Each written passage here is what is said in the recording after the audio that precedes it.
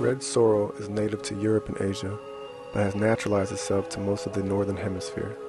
Though several kinds of sorrels are native to the Americas, the cultivated varieties derive from European horticulture. Red sorrel is popular in European pot meals and sorrel soup, which was a fixture of English cuisine at the beginning of the colonial era. Red sorrel is a leafy herb that grows low to the ground with slender stems. Has bright lime green leaves with dark red stems and veins that run the entirety of the leaf. Red sorrel has a distinct lemony flavor and acidic bite. The taste is often described as sour.